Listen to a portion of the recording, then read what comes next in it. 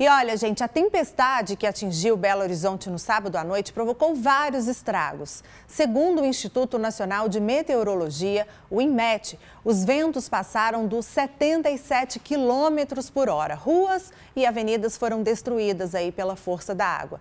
A gente vai ver agora na reportagem da Micheline Kubitschek. No registro da moradora do bairro Dona Clara, na região da Pampulha, o desabafo de quem viu a avenida ser tomada pela enxurrada. Simplesmente a avenida virou um rio. No mesmo bairro, cenas impressionantes. Um veículo ficou quase todo submerso. Clientes de um supermercado assistiram tudo enquanto esperavam o temporal diminuir e o nível da água abaixar. A cena parece a mesma, mas este outro flagrante foi feito em um ponto diferente da capital, na Avenida Bernardo Vasconcelos, na região Nordeste. Do alto de um dos prédios do bairro Ipiranga, o telespectador da Record Minas mostrou um motorista tentando escapar da correnteza. E vai conseguir entrar numa garagem ali que tá, está num nível acima da Avenida Bernardo Vasconcelos. Seu Juventino tem uma loja bem no ponto em que esta árvore caiu. Ele diz que estragos causados por chuvas na região são frequentes. Desta vez, por sorte, a loja não foi atingida. Preocupação? Bastante, né? Porque nunca sabe o que pode acontecer. Já o telhado desta casa foi danificado. Perto dali, no Nova Cachoeirinha, uma árvore de grande porte caiu, levando junto fios de energia elétrica. O incidente interditou a rua Henrique Diniz. Moradores afirmam que um carro que estava parado no local foi atingido.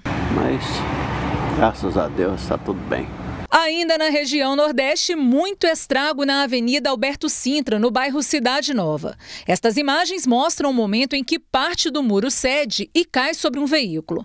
O Wesley tem um restaurante ao lado e disse que o local estava movimentado quando tudo aconteceu. Segundo ele, três carros foram danificados com a queda da estrutura. Mas graças a Deus não, não abalou nem minha estrutura, não, não machucou nenhum funcionário, nenhum dos clientes.